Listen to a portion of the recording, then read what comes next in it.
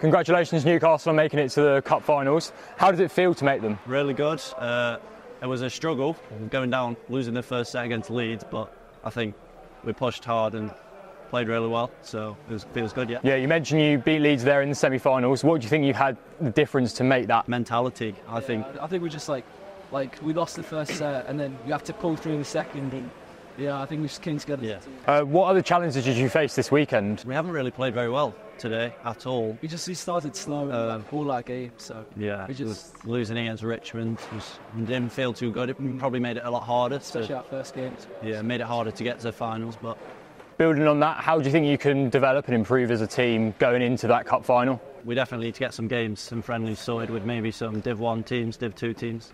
And hopefully Newcastle, if Super League team maybe, but uh, depends how busy they are. And How's the season been for you in general? Work playing in, I know Josh, you play, and so do you, Albert. You both play in Super League, and then you're also playing in the Junior Grand Prix as well. How's the season been for you? busy, very busy. We've Yeah. been training like what, three times, Three times a week every and week. then getting games and matches on the week.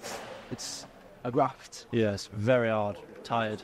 But is it nice to see that hard work paying off? Yeah, it does. Yeah. What are you looking forward to most about cup finals? Playing on a good court for once, Yeah. that's always a good thing. With not lines going all over the place, oh, that, that always feels good. I mean, uh, also like that atmosphere. Like we have a good atmosphere today, and that, that's us. We- Yeah, we we play better with that atmosphere, definitely. Is that a message then to everyone at home to get some Yeah. tickets, come along and support the guys? Watch us. Yeah. Well, congratulations, gents, and good luck for the final. Thank you.